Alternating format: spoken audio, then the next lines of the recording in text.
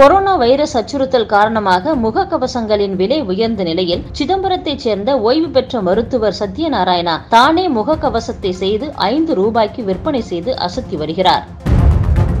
பாரதிய ஜனதா எம்பிக்கள் அனைவரும் அரசியல் நிகழ்ச்சிகளை ரத்து செய்து கொரோனா வைரஸ் தொற்று குறித்த விழிப்புணர்வை ஏற்படுத்துங்கள் என்று பிரதமர் நரேந்திர மோடி வேண்டுகோள் விடுத்துள்ளார்.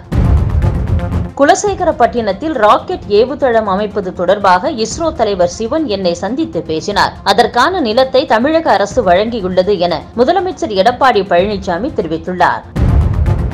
மாணவர்கள் விடுப்பு எடுக்காமல் பள்ளிக்கு வந்தால் விமானத்தில் அழைத்துச் செல்வதாக விருதுநகர் மாவட்டம் சிவகாசி அடுத்து மங்கலத்தில் உள்ள அரசு பள்ளி ஆசிரியர் ஜெயச்சந்திரன் வாக்குறுதி அளித்துள்ளார். இதன்படி விடுப்பு எடுக்காமல் வந்த இருபது மாணவர்களையும் தனது உடன் பணிபுரியும் ஆசிரியர்களையும் சொந்த செலவில் மதுரையில் இருந்து சென்னைக்கு விமானம் மூலம் சுற்றுலா அழைத்து வந்து உற்சாகப்படுத்தியுள்ளார்.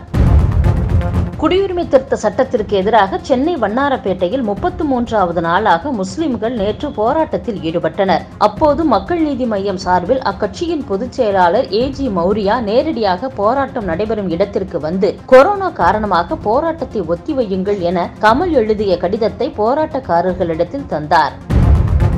நடுக்கடலில் வானிலை தொலைத்தொடர்பு ஆகியவற்றுக்கு உதவியாக மீனவர்களுக்கு எழுபத்தைந்து சதவீத மானிய விலையில் ஐநூறு சேட்டிலைட் போன்கள் வழங்கப்படும் என தமிழக அரசு அறிவித்துள்ளது. இதற்காக மூன்று கோடியே எழுபத்தைந்து லட்சம் ரூபாய் ஒதுக்கியுள்ளது தமிழக அரசு.